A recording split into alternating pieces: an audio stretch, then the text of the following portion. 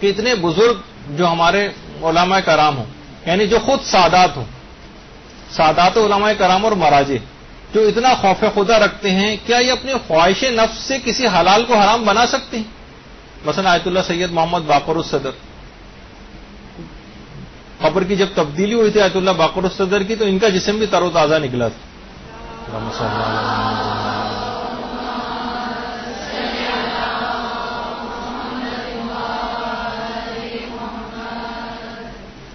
اتنے بزرگ علماء اور مراجے جن کے تقوا و پرہزگاری جو کہ سید بھی ہیں یا آیت اللہ مثلا محسن الحکیم جو لیفٹ پر ہیں۔ مثلا آیت اللہ سید کاظم یزدی جن کی عروت الوسقہ ہے، یہ دیکھیے، یہ سب سیدوں آیت اللہ سید محمد حسین تبا تبائی آیت اللہ ابو الحسن اسفہانی تو بہرحال اب یہ تمام چیزیں دیکھیے کہ کہ اتنے ایسے عظیم عظیم علماء اور مراجے ہمارے، کہ یہ افراد کے جو کہ سیدوں کے بہت زیادہ احترام کے قائل ہیں جو کتابیں لکھ رہے ہیں۔ ان کا دوسرا رخ یہ ہے کہ انہی علماء کے خلاف جب تقلید کے حوالے سے بات آتی ہے، تو اتنے بڑے بڑے عرفانی معیار پر فائز ہونے کے بعد تقوا پرہزگاری اور علم کے درجات پہ فائز ہونے کے بعد، انہی سادات علماء اور مراجے کے خلاف یہ افراد گالیاں دیتے ہیں۔ اور کیسی کیسی زبان اپنی کتابوں کے اندر استعمال کرتے ہیں، کیوں؟ بھائی، یہ سادات ہیں تو آپ کی عظمت سادات کا نظریہ کیا ہوا؟ معلوم ہوا کہ یہ سازشی ٹولہ ہے جو خاص وجہ سے سیدانیوں کی شادیوں کو مشکل بنا کر سادات میں کرپشن کو فروغ دینا چاہتا۔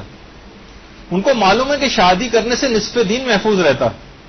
لہذا ان کو بھی پتا ہے کہ اس طرح، جبکہ اتنے سارے مسائل اور رکاوٹیں پہلے سے اس میں مزید رکاوٹیں ڈال کر کرپشن کو فروغ دیا جائے اور نسل سادات کو خراب کیا جائے۔ ہمیں افسوس اس بات کا ہوتا ہے کہ یعنی اس موضوع پر جو کہ ایک لحاظ سے نان ایشو ہے۔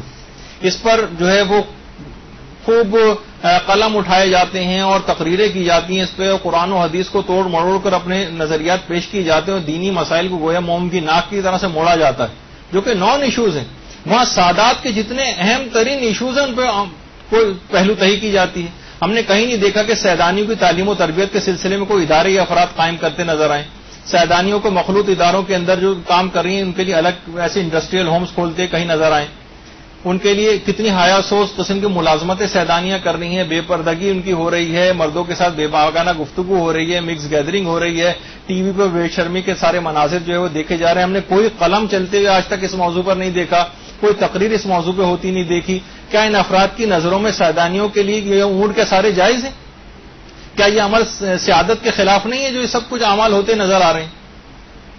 تو دیکھیے، یہ سب چیزیں ایسی ہیں کہ بہرحال آپ اس لحاظ سے اگر آپ دیکھیں تو ابو لہب جو تھا، وہ ہاشمی بھی تھا، سید بھی تھا، پیغمبر اسلام کا چچا بھی تھا، لیکن کیا ہے، کوڑیوں کے مول رہا اور تبت یدا کا مزداق ہو گیا۔ اور ہم دوسری جگہوں پہ دیکھتے ہیں سلمان فارسی، خالص، غیر سید، اجمی، نہ ہاشمی، نہ قریشی، نہ عربی، مگر ایمان کے دس کے دس حصوں کے اوپر فائز نظر آتے ہیں ہمیں اور منا اہل البید کا مزداق اور خطاب یافتہ ہو جاتے ہیں۔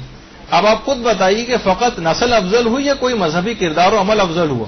یہ صحیح ہے کہ بہرحال کہ دین خدا جو ہے وہ ساداتی کے گھر سے برامد ہوا ہے اور ساداتی کے خون سے سیراب ہوا ہے۔ لہذا اب سادات کے ہاتھوں کم سے کم اس کو پائمال نہیں ہونا چاہیے۔ دیکھیے، جس طرح سے فضائل ہوتے ہیں، اسی طرح سے فرائض بھی ہوتے ہیں۔ فضائل کا حامل ہونا فرائض کو ساقت نہیں کرتا ہے، بلکہ اور بڑھا دیتا ہے فرائض کو۔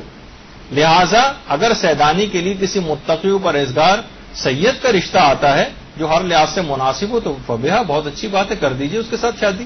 لیکن اگر کوئی غیر سید، لیکن تقو پرہیزگاری والا سید، غیر سید آ جائے تو اپنے خود ساختہ پیمانوں کی وجہ سے یہ مسئلہ نہ بنائیے کہ یہ حرام اور ناجائز۔ مرضی ہے آپ کریں نہ کریں، لیکن شریعت کے نام پر اس عمل سے انکار نہیں ہونا چاہیے۔ اور مثلا آپ کا، لوگوں کا کیا خیال ہے؟ کہ اس حدیث کا مثلا سہارا لے کر کے علی نہ ہوتے، تو فاطمہ کو کفو نہ ہوتا۔ کیا یہ حدیث یہ بیان کرتی ہے کہ اس کا اطلاق تمام سید زادیوں پر کر دیا جائے؟ کہ اگر ان کو کوئی سید زیادہ نہ ملے تو ان کا کوئی کفو نہیں ہوگا۔ اب یہ ساری زندگی بیٹھی رہیں گی۔ کسی سید زادے کے انتظار میں، خواہ و فاسق و فاجر اس کے انتظار میں ساری زندگی کواری بیٹھے رہیں۔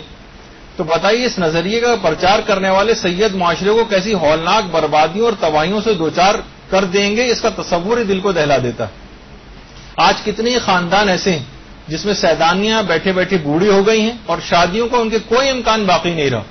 تو اب اس ساختہ نظریے کی وجہ سے اگر ان افراد کو جو اس نظریے کے حامل ہیں، اگر غیر غیر شادی شدہ سیدانیوں کی کوئی بستی بسانی ہو اور سادات کو مزید ذلیل و رسوا کرنا مقصود تو اس تحریک کو خوب ہوا دیں، اب یہ ان کی مرضی۔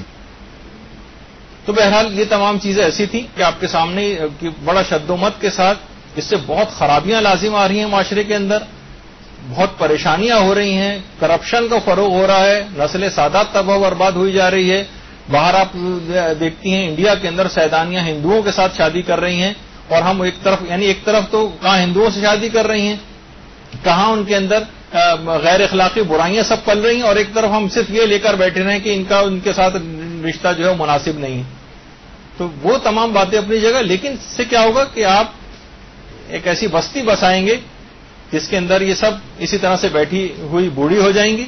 اور ان کے اندر کرپشن کو مزید فروغ ہوگا. یہ ان لوگوں کی ایک خاص سازش ہے جس کے تحت یہ چیز یہ اگر یہ سید کے احترام کسی حد تک قائل ہوتے تو ان کے لیے ان تمام اقدامات کرتے جو بھی میں نے تذکرہ کی یہ اگر ان تمام سادات کے ہاں- یہ جو فضائل کے حامل سادات علماء ہیں، ان کے لیے کبھی اس زبان کو اپنی کتابوں کے اندر استعمال نہ کرتے جو ان کے نظریات کے خلاف جب جاتی ہیں تو جو زبان استعمال کرتے ہیں۔ اس کے معنی یہ ہیں کہ یہ افراد کسی اور نظری کے حامل ہیں، یہ سازشی ہیں، ان سے خبردار رہنا چاہیے۔